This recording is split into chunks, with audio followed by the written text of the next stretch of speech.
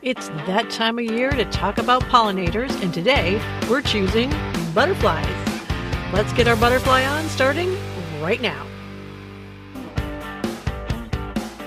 Welcome to the Weird and Wacky Planets Nature Just Got Real podcast for kids. Join KB Carr, author of the Weird and Wacky Planet series, with Chuck Darwin, Tito, and Captain Jack as they bring you the real skinny on what's really going on in the natural world. And now, here's your host, KB Carr. Hello, Planeteers. I'm KB Carr, author of the Weird and Wacky Planet series and host of this podcast for kids, Nature Just Got Real. Today, we are talking all things butterflies. But first, I want to welcome our new listeners in Germany. Hello. Germany had the most downloads from outside the US for the last episode. Also, for the first time, we had listeners in Costa Rica, Belgium, the Grenadines, Poland, Japan, and Ireland. Welcome! And the city that had the most downloads was a tie between Spanish Forks, Utah, here in the United States, and Brampton, Ontario, in Canada. Thank you so much, all of you, for listening. If you're watching this on video, uh, which you can do on YouTube and possibly other places, there will be pictures inserted here and there of the butterflies we're talking about. But if you're just listening and you're interested in seeing pictures of these butterflies, you'll find a downloadable PDF in the show notes. It might be helpful to have that to look at while listening to the episode uh, so you can see these amazing insects for yourself as we talk about them. Let's get started. While they aren't the biggest pollinators on the planet, butterflies certainly are quite fascinating. I learned so much from Tito's weird facts, and I'm sure you will too. I had the pleasure of interviewing Steve LaWarre, the Vice President of Horticulture at Frederik Meijer Gardens and Sculpture Park here in Grand Rapids, Michigan, about their wonderful butterfly exhibition called the Fred and Dorothy Fichter Butterflies Are Blooming. Every year they put on a dazzling display of butterflies in a five story glass enclosure that you can walk through and have a magical close encounter with many different species of tropical butterflies. And now, enjoy my interview with Steve as he tells us about the exhibition, why butterflies are important, and more importantly, what we can do to help them.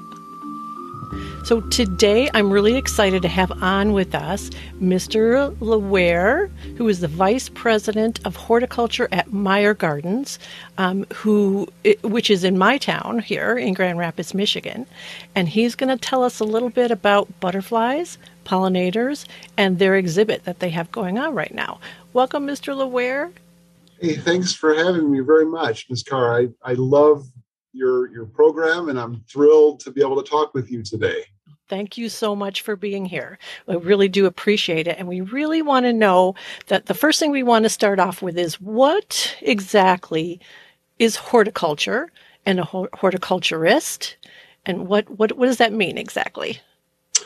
Yeah, you know, so a lot of these words and science are, you know, kind of long, but I like to break them down into the smaller Latin parts, and that kind of helps me have a better understanding of of what they mean. So yeah, if you look at that. yeah, so if you look at horticulture, um, hort is a is a root word in Latin that comes from hortus, which just means garden, and then um, culture is uh, has its root in Latin, in Latin meaning you know to to cultivate, and so um, horticulture um, in general just means you know the cultivation of gardens. But uh, um, I have a, a, a, definition that I really like um, that that goes like this. So horticulture is the culture of plants for food, comfort, or beautification. So um, horticulture is just that art and science of growing plants and gardens, either for beauty, food, um, or uh, for comfort. You know, like house plants would be something that would be for comfort. So, um, so that's horticulture. I love it. How and how did you? What did you have to do to become a horticulturist? What what does that involve? Yeah, you know, so um, when I I went to college, and um, one of the things that was really really interesting to me as a, a young person um, was uh, forensic pathology. There was a, actually a TV show um, in the 80s that I used to watch all the time called Quincy. And uh, basically, a, a, forensic pathologist is someone who figures out why someone died. And we've got a lot of TV shows that are out now, like CSI and some of those things that are similar to that. Right. Uh, but that really piqued my interest. And so when I started in school, um, I started in zoology, which is another word that has to do with animals started in zoology and in pre med um, uh, with the idea that I would uh, get into forensic pathology. And I ended up having to take a couple of botany classes, so a couple plant classes as part of that. And um, it was just really, really interesting to me. And I ended up uh, changing my major and pursuing a degree in botany. And um, I always enjoyed being outside. I always mowed lawns as a kid for extra money and um, you know was always playing around in the dirt. So uh, in hindsight, it was a, uh, a good match for me. Excellent. I like that. So so you you went to college it started on one path and then switched to another. So you guys, that's totally possible to do. You're not it locked is, in stone. Yeah. Once you start, once you start a path, you don't have to stay on it. You can find something right. more interesting and, and take that path. I, I really like stories like that. I love that. Yeah. All right. So we're going to get kind of down to the nitty gritty and talk about butterflies because this show is about butterflies as pollinators. And you guys have like a super cool exhibit at the gardens uh, that you do every year. Uh, can you tell us about that? Yeah, so this is actually the 27th year for this exhibition. And the full name of the exhibition is the um, Fred and Dorothy Fichter Butterflies Are Blooming exhibition. And uh, we have a tropical conservatory. So, a conservatory is you know, basically a glass house. And we have a tropical conservatory that's five stories tall and um, 15,000 square feet as far as the footprint goes. And um, there are over 7,000 butterflies that um, are ended up end up being released and that fly free in that tropical space. And they're all tropical butterflies. Um, from places like Costa Rica and Ecuador and uh, parts of uh, tropical China and uh, other areas of Asia, greater Asia. And um, it's just a really neat opportunity uh, for people to see these beautiful uh, creatures uh, up close and you know in person. So that's really butterflies of the world, isn't it? So you'd have to keep that temperature controlled, and to be able to do that, wouldn't you? We do, yeah. It's it's 85 between 80 and 85 degrees, um, high humidity.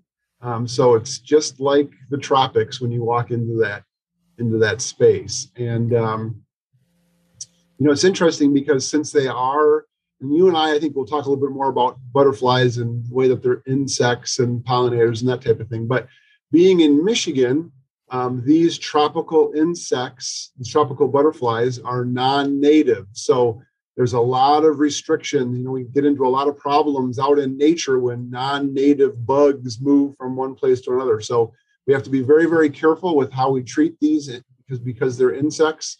And um, there's regulations from the United States Department of Agriculture and other government um, agencies, you know, that regulate how we display these these beautiful creatures. Good to know. Yes, good to know because that would be um, non you know invasive species are a problem uh, in several areas. So that would be that's good to know. Okay, no escapees. Mm. right, right, All right.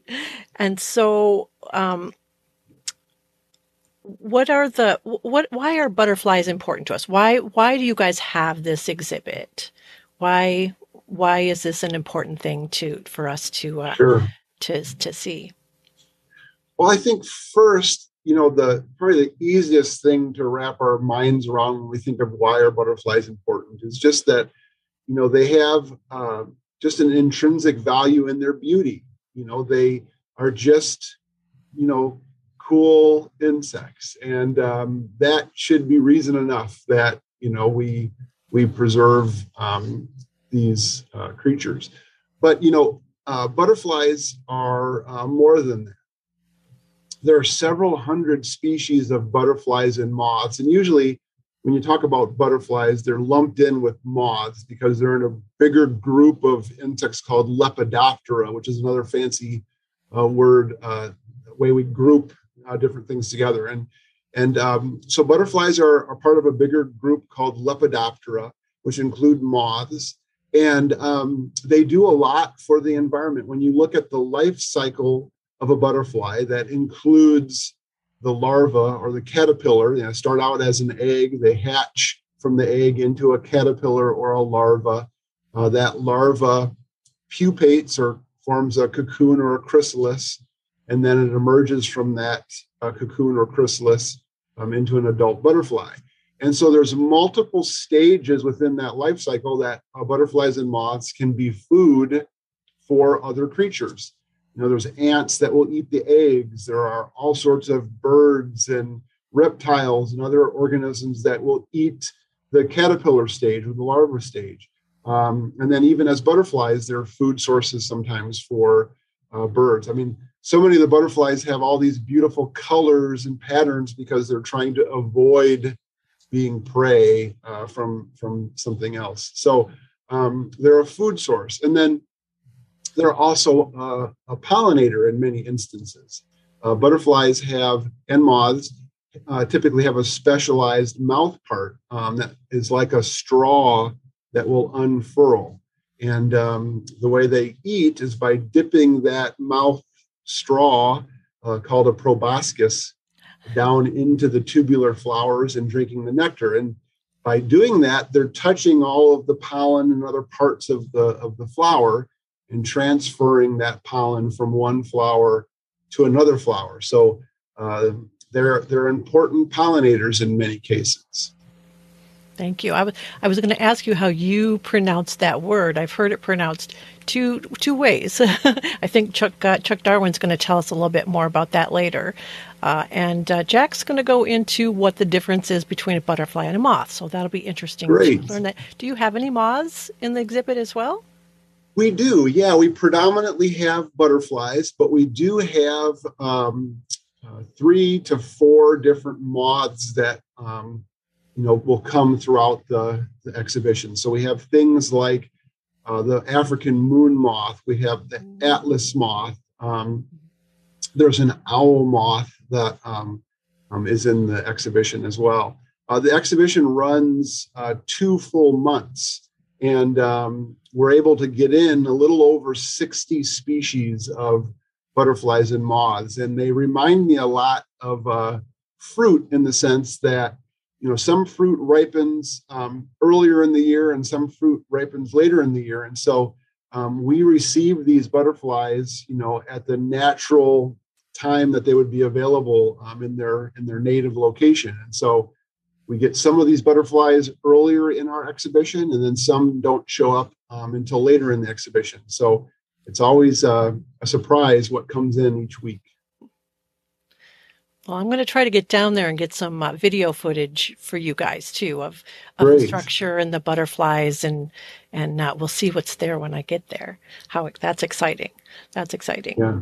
All right, so um, I wanted to ask you what kinds of things affect the number of butterflies uh, and their effectiveness as pollinators. Like, what kind of challenges do butterflies have uh, environmentally right now? Sure. Well, I think, you know, when you look at butterflies as being an insect, and, um, you know, they're an insect first, you know, before they're a butterfly, if you think of it that way. And um, in general, insects are uh, very much impacted by the changes that we see within our environment. So when we have um, temperatures that are warmer, when we have um, storm systems that um, influence um, the, the, climate, you know, all of those different things um, impact butterflies uh, like any other insect. Um, also, butterflies are a, um, you know they're affected by things like pesticides. They're affected by you know the lack of habitat in some instances. So when you look at, for example, uh, monarchs are um, a very familiar butterfly here in North America, and we talk a lot about monarchs and their migration and their relationship to milkweed and all those things. And so habitat changes, uh, changes within um, you know the diversity of plant material all of those things end up impacting insects which in turn impact uh, butterflies right right. Thank you. All right that's something to to definitely explore further things that we can do. And and that was my next question. So what kind of things um, can kids do for butterflies in, in in their backyards or their neighborhoods or their schools? Um, sure sure. Yeah. So um, you know one of the important things that i think we can do as um, you know individual people as individual kids is to pay a little bit more attention about what's going on in your full yard you know your own personal habitat. And um, i talked a little bit earlier about that life cycle egg to caterpillar to chrysalis to butterfly. And um, butterflies are in our garden and when we see an adult butterfly, we're only seeing part of that life cycle. And if we have a yard, for example, that's only attractive to adult butterflies, if it only has the flowers that butterflies like, uh, then we're not aiding in the completion of that life cycle. So if I go back to the monarch, for example, um, I think a lot of us have a familiarity with the fact that monarchs are associated with milkweed. Mm-hmm. So if you look at why that is, um, butterflies will typically only lay their eggs on certain plants. And for the monarch, that's milkweed. And the reason for that is that's the plant that the caterpillar likes to eat. So if you like cheeseburgers and I were to drop you off at some place that only serves rice, you would have a hard time, you know, eating your favorite food of a cheeseburger. Well, that's the same with a monarch. If if the egg is laid on an oak tree, those caterpillars don't eat oak trees, so they would starve. So uh, that egg is only laid on milkweed, and uh, when that when that milkweed is eaten by the caterpillars, it's chewed up. You'll see holes in the leaves. You'll see leaves disappearing. Um, we have caterpillars in our in our seasonal display house that will completely strip milkweed plants, you know, of all their leaves. They're voracious, uh, have voracious appetites. So in our own yards, a lot of times we think, oh, if something is eating one of my plants, it's a bad thing. And um, a lot of times, those things that are eating your plants are the larvae of insects. Hmm. So when I talk about the fact that you should take a greater view of your yard and, and have a better understanding of a life cycle of a butterfly, um, you know, if you have those plants in your yard and you want the life cycle to be there, you have to, you know, be familiar with the fact that some of your plants will be eaten by those uh, insects, and that's a good thing in order to create habitat. So, um, I guess the Cliff's notes of that, or the short version of that, is um, to have as many things uh, that are butterfly friendly and caterpillar friendly as you can planted in your yard, and then to allow those things to be eaten. So to not spray pesticides, to not, you know, try to eliminate um, insects from eating uh, that plant material that you've planted. Very important. Very important. I'm glad that you that you brought that up. So support for all of the stages that gets to the pretty one that we see. Uh, there's a lot of other stages that have to happen first. So Correct. a lot of things we Correct. can do to support yeah. that. Excellent. Thank you. Right. So, and what would you like? Uh, what would you like kids to know? Well, you know, I think that um, there's so much that can be discovered um, by exploring your own yard. You know, by getting out on your hands and knees and um, you know, moving plants around, looking at the underside of leaves, uh, maybe exploring with a magnifying glass occasionally. Um, I remember when my I've got three children that are all uh, grown and out of the house now. Um, but when my children were younger, we used to have a lot of fun um, exploring the backyard and looking at um, if we could find plants that were being chewed by something and uh, and trying to figure out what was eating uh, that plant. And so um, just getting outside, exploring, and um, asking questions. You know, if you don't know what something is, uh, try to figure out what it is. What's eating that plant? What is that bug that I found underneath this rock?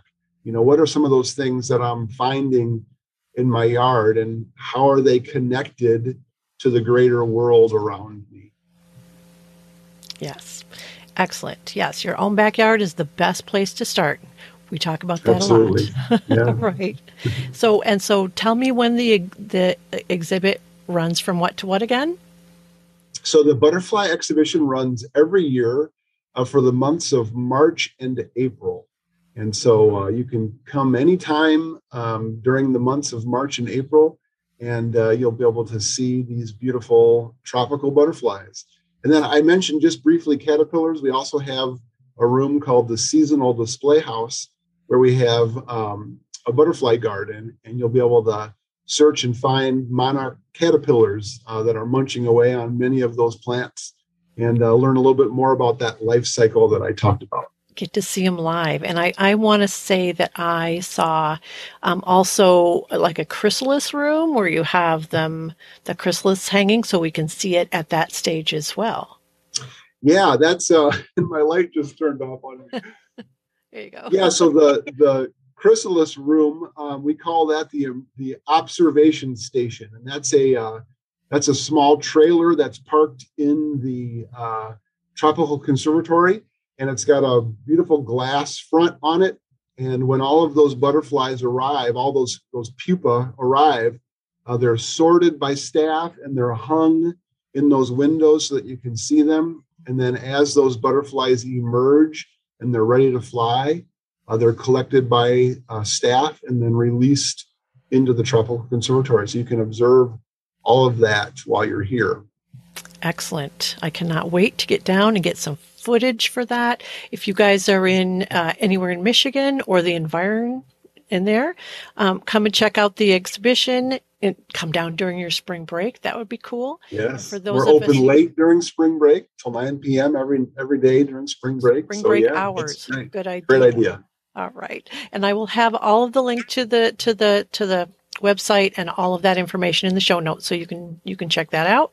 And for those of you in other countries who who can't come out, um, I'll see if I can get some uh, some video footage of that. Maybe put it as an as an extra there at the end. Great. Right. So thank you so much, Mr. LaWarre. We really appreciate you coming here and telling us about the exhibition and about butterflies and why they're important and what we can do to help them. Thanks so much for coming. Yeah, thanks for having me. I really appreciate it. Have a good rest of your day. My pleasure. You too. Bye bye.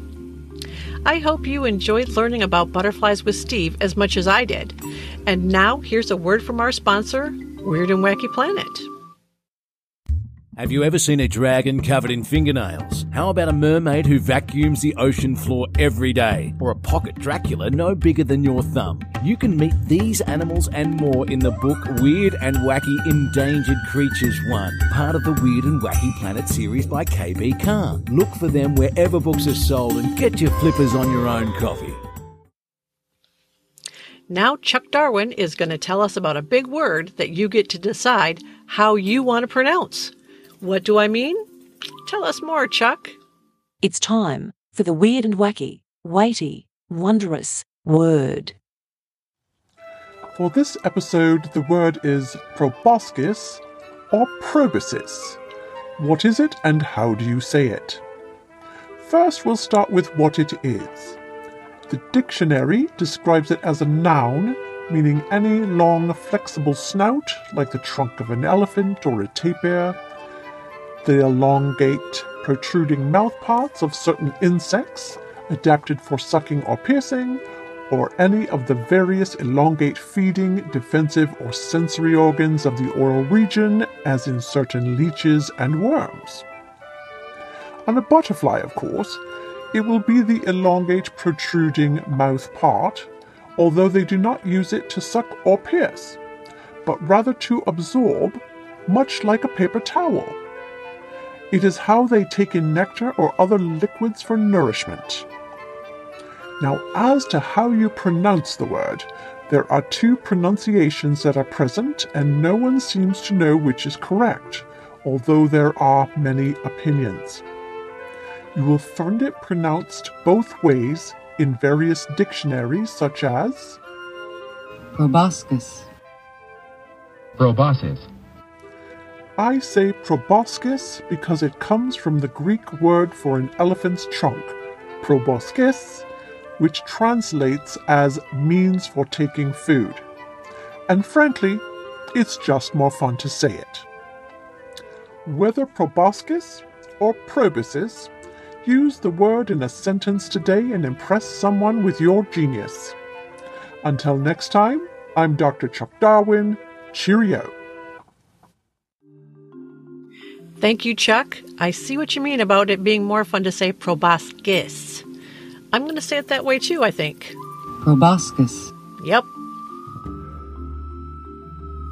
Now, Captain Jack is here to answer a question that came up during our research for today's show, and you might have this question too. Give us the facts, Jack. Got a question? Ask the captain.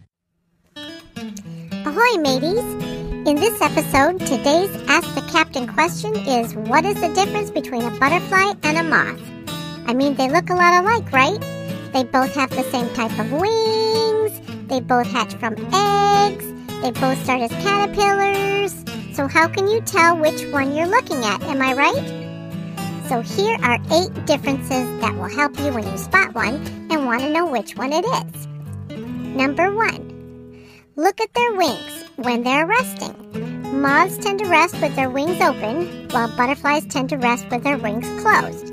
But sometimes butterflies will sunbathe with their wings open, so then you want to, number two, look at their antenna. Butterflies' antennae start slimmer, closer to their heads, and then get a little wider at the end, or even have a little tiny ball at the end. Moth antennae are either fuzzy or have more jagged edges. Number three, is it daytime or nighttime? Moths are nocturnal, meaning they fly mostly at night, and butterflies are diurnal, meaning they fly mostly during the day. Number four, color. Most moths tend to be duller or more neutral in color to better camouflage themselves, where butterflies tend to be brighter in color.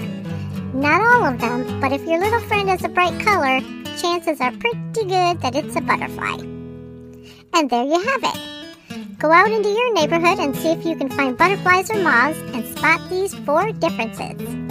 And if you have any questions for me, just email me at naturejustgotreal at gmail.com. I'm always listening. This is Captain Jack signing off till next time. Bye bye. That was an awesome answer, Jack. I'll be on the lookout to spot those differences in moths and butterflies from now on. I'll also put a cool graphic in the downloadable PDF that shows you the differences, so look for that in the show notes. And now here's Tito to give us some unusual facts about butterflies that you may or may not have known. I know I didn't. Take it away, Tito. And now, the weird and wacky creature feature. So you're getting a lot of butterfly facts thrown at you in today's episode, but I feel it's my job to tell you some of the weird facts you might not hear. So without further ado, here are 10 weird and wacky butterfly facts. Number 1. They eat poop and drink blood, sweat, and tears. Yup, that's right. You want to think they're all like sipping nectar from flowers, all pretty like, and they are, but they're also looking for the minerals provided by the bodily functions of other creatures, including us, and including urine. Pretty gross. Number two, some of them are carnivores. Rotting animal flesh is a big butterfly favorite. Actually, in butterfly form, they can only technically lick rotting meat, but there are two species of butterflies that are carnivorous in caterpillar form. The harvester butterfly lays its eggs on colonies of aphids, and when the caterpillars hatch, they have a ready made snacks available. The large blue butterfly's caterpillars live in ant nests and eat their larvae. Mm, mm, mm. Number three, they are really picky eaters. Some butterfly caterpillars can only eat the leaves of one plant. Like in the case of monarch butterflies, they eat only milkweeds. That is called the host plant, and the adult female butterfly will only lay eggs on this plant that will feed the caterpillars once they hatch. So if you want more butterflies in your yard, do some research and have both the nectar sources and the host plants. Number four, they use ants as babysitters. One species of butterfly in the Amazon has the ants care for the caterpillars, and the caterpillars give the ants nutrients in exchange. But when the caterpillars turn into butterflies, they steal the ants' food. How's that for a howdy do? Ungrateful degenerates, I say. Number five. Some are a foot long and some are teeny tiny. The Queen Alexandra's bird-winged butterfly can have a wingspan up to 12 inches long. And the smallest butterfly, the western blue pygmy, has a maximum wingspan of 3 quarters of an inch, about the size of an adult fingernail. So cute! Number 6. Some are not colorful. When you think of butterflies, you think of beautiful colors, but not all of them are. Some of them are gray or brown and look like moths. That's when you really want to know the difference between a butterfly and a moth so you can tell what it is. And some of them, like the glass-winged butterfly, you can see through. That's kind of crazy, isn't it? Number 7. Some have colors we can't see. Butterflies can't see as many details as the human eye, but they can see colors that humans can't see, like ultraviolet. And many of them have ultraviolet in their wings, and scientists think they might use those colors to find the right mate. That makes sense. Number 8. Some use fake heads to trick predators. Butterflies would rather have a predator bite its wings instead of a vital part like its body or head, so some species have what looks like a head and antenna close to their butts. They can wiggle the fake antenna and make a predator think it's biting their head. They can still fly with big chunks taken out of their wings. Crazy, huh? And crazy smart. Number 9. They steal and use poisons. Some butterflies take toxins from their host plants to make themselves less tasty to birds, and that foot long, wide Queen Alexandra's butterfly winged butterfly eats a toxic vine to drive predators away. Number 10. Swallowtail butterflies make a stink. When the caterpillar is threatened, they stick out a colorful, stinky organ called an osmeritium. I don't know what that is. Osmeterium. Mm, that's a long word. It looks like a snake's tongue and makes them seem a lot less tasty. And did I mention it stinks? that's a good idea. So there you have 10 weird and wacky facts about butterflies you may or may not have known. And how fun will it be to gross out your teacher and your friends with ease, huh? I'm Tito, and I'll see yous all next time. Thanks, Tito. I know that was a lot of talking for you, but that was definitely one of your more interesting segments for sure. And the word is osmeterium and is one of our weird and wacky vocabulary words for this episode. Okay, episode recap. What are my takeaways from today? Number one, butterflies are a good indicator species that can tell us how our environment is doing. Two, if you want to attract butterflies to your yard and help them out, don't forget about the host plants. What type of plants do the caterpillars need to survive? Google that for your area. Number three, I'm going to say proboscis when I'm being serious and proboscis when I want to be more fun. Why choose? And didn't the paper towel reference blow your mind? I was like, wait, what? They aren't sucking up nectar like a straw? It's the quicker picker upper. Number four, I will be looking for the differences between moths and butterflies so I can identify what I'm looking at and inform my friends so I look really smart. Number five, I will also stupefy them with the gross facts about what butterflies are really eating so I look like I'm not afraid of the disgusting truth. Can you handle the truth? I think so. What are some of your takeaways from today's episode? And don't forget to check out the recommended reads and the list of cool activities in case you want to raise or attract your own butterflies. Until next time, go have a flittering, sweat drinking adventure in your neighborhood.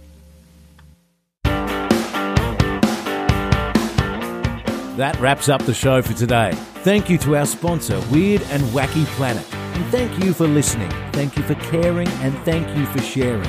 Don't forget to rate, review, and subscribe so you don't miss an episode. Let us know if you do, and we might mention you on the show. Until next week, go have an adventure in your neighborhood.